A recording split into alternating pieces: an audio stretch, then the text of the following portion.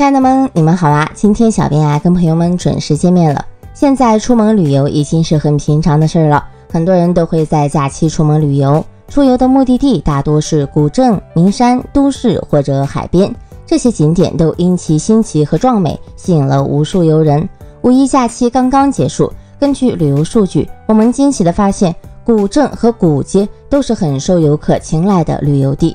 今天小编要跟大家说一条街。街道算不上很长，可在三国时期就已经很出名了。这条街道是成都的缩影，街上还有很多令人垂涎的美食。它就是锦里。这条街道的历史非常悠久，相传可以说是在西蜀历史中最古老的街道之一了。锦里有非常浓郁的商业气息，它以秦汉和三国精神作为灵魂，明清的外貌为代表，可谓是集百家之长。在这条街道上。可以体验到成都生活的精华所在。锦里街道的全长仅有五百五十米，却充分的体现了成都的内涵。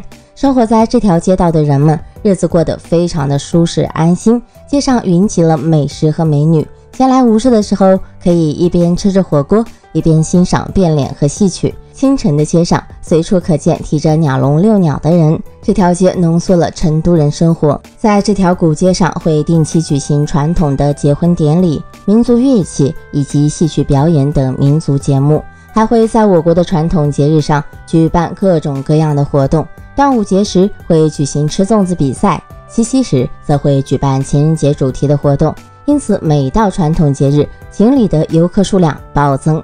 为了让锦里街道的布局严格有序，所以该街道经过了很长时间的修建，在二零零四年时才对外开放。因为锦里属于武侯祠，所以会有拜武侯祠游锦里的说法。因此，去成都的游客大多会去锦里古街逛逛。小伙伴们想去锦里走一走吗？好啦，今天的视频到这里就要和小可爱们说拜拜啦！如果喜欢我们的节目，希望每一位来过的朋友们留下评论。或者是进行转发以及关注哦。